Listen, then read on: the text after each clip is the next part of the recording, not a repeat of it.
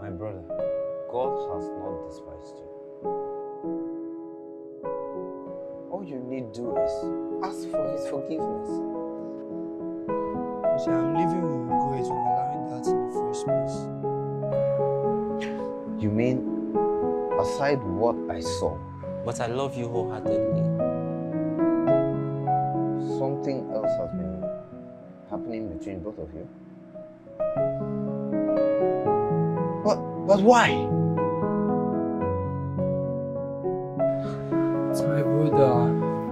Uh, what happened to him? He's suspecting us. He's not happy with me for the last time. God doesn't want it.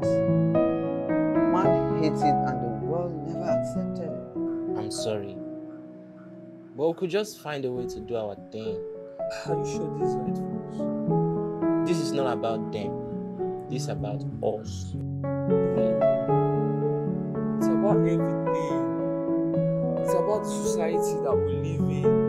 This is Africa and such an act here is a. But that doesn't justify your absence in the hospital.